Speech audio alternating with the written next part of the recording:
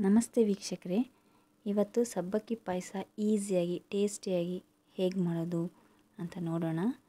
ನಾನಿಲ್ಲಿ condense milk khoa ಆ ಥರ ಯಾವುದೇ ರೀತಿ ಪದಾರ್ಥನ ನಾನು ಯೂಸ್ ಮಾಡಿಲ್ಲ. ಬನ್ನಿ ಹೇಗೆ ಮಾಡೋದು ಅನ್ನೋದನ್ನು ನೋಡೋಣ. ನಾನು ಅರ್ಧ ಲೀಟ್ರಷ್ಟು ಹಾಲನ್ನು ತೊಗೊಂಡಿದ್ದೀನಿ. ಇದನ್ನು ಚೆನ್ನಾಗಿ ಕುದಿಸಿ ಇಟ್ಕೊಂಡಿದ್ದೀನಿ. ಇದಕ್ಕೆ ನಿಮಗೆ ಬೇಕಂದರೆ ಸ್ವಲ್ಪ ನೀರನ್ನು ಆ್ಯಡ್ ಮಾಡ್ಬೋದು. ಗಟ್ಟಿಯಾಗಿದ್ದರೆ ಆ್ಯಡ್ ಮಾಡ್ಕೊಳ್ಳಿ.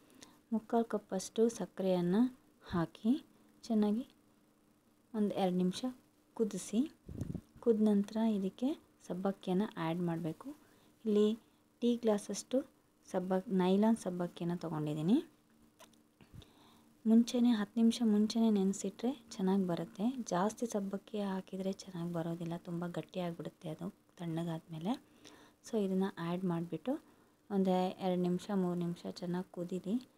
ಕುದ ನಂತರ ಇದಕ್ಕೆ ಏಲಕ್ಕಿ ಪೌಡರ್ನ ಹಾಕ್ಕೊಳ್ಳಿ ನಂತರ ಇದಕ್ಕೆ ಬಾದಾಮ್ ಪೌಡರ್ನ ತಗೊ, ಹಾಕಬೇಕು. ನಾನಿಲ್ಲಿ ನಾಲ್ಕು ಸ್ಪೂನಷ್ಟು ತೊಗೊಂಡಿದ್ದೀನಿ ನೀವು ಯಾವ ಬ್ರ್ಯಾಂಡ್ ಬೇಕಾದರೂ ಯೂಸ್ ಮಾಡ್ಬೋದು. ಇದು ಚೆನ್ನಾಗಿ ಮಿಕ್ಸ್ ಮಾಡಿಬಿಡಿ. ಇದು ಒಂದು ಹತ್ತು ನಿಮಿಷ ಕುದಿಬೇಕು. ಕುದ್ದಷ್ಟು ಚೆನ್ನಾಗಿರುತ್ತೆ. ನೀವು ಯಾವ್ದು ಡ್ರೈ ಫ್ರೂಟ್ಸ್ ಬೇಕಾದರೂ ಹಾಕ್ಕೊಳ್ಳಿ ನಾನಿಲ್ಲಿ ದ್ರಾಕ್ಷಿ, ಗೋಡಂಬಿ, ಬಾದಾಮಿಯನ್ನು ತೊಗೊಂಡಿದ್ದೀನಿ ನಂತರ ಇದಕ್ಕೆ ಮೂರು ಸ್ಪೂನು ತುಪ್ಪ ಬಿಸಿ ಮಾಡಿಕೊಂಡು ಈ ಡ್ರೈ ಫ್ರೂಟ್ಸ್ನೆಲ್ಲ ಹಾಕ್ಕೊಳ್ಳಿ ಕೆಂಪು ಬಣ್ಣ ಬರೋವರೆಗೂ ಇದನ್ನು ಫ್ರೈ ಮಾಡ್ಕೊಳ್ಳಿ. ಫ್ರೈ ಮಾಡಿದ ನಂತರ ಇದನ್ನು ಮಿಕ್ಸ್ ಮಾಡ್ಕೋಬೇಕು. ಈ ರೀತಿ ಹಾಕ್ಕೊಂಡು ಒಂದೆರಡು ನಿಮಿಷ ಕುದಿಯಕ್ಕೆ ಬಿಡಿ. ಕುದ ನಂತರ ಇದಕ್ಕೆ ನಾನಿಲ್ಲಿ ಕೇಸರಿ ದಳಗಳನ್ನು ಹಾಕ್ತಾಯಿದ್ದೀನಿ ಒಂದು ಚಿಟಿಕೆಯಷ್ಟು ಹಾಕ್ಕೊಳ್ಳಿ ಫ್ಲೇವರ್ಗೋಸ್ಕರ ಕಲರ್ ಬರುತ್ತೆ ಮತ್ತು ಟೇಸ್ಟ್ ಕೂಡ ತುಂಬ ಚೆನ್ನಾಗಿರುತ್ತೆ. ತುಂಬ ಈಸಿಯಾಗಿದೆ, ತುಂಬ ಟೇಸ್ಟಿಯಾಗಿರುತ್ತೆ. ಒಂದು ಇಪ್ಪತ್ತು ನಿಮಿಷ ಬಿಟ್ಟು ನೀವು ಇದನ್ನು ಸರ್ವ್ ಮಾಡಿದರೆ ತುಂಬ ಚೆನ್ನಾಗಿರುತ್ತೆ. ಯಾಕಂದರೆ ಅದು ಸ್ವಲ್ಪ ತಿಕ್ನೆಸ್ ಬರುತ್ತೆ. ಹಾಲಿಂದು ಮತ್ತು ನಾವು ಪ ಬಾದಾಮ್ ಪೌಡರ್ ಹಾಕಿರೋದು ಎಲ್ಲ ತುಂಬ ಸ್ವಲ್ಪ ತಿಕ್ನೆಸ್ ಬರುತ್ತೆ.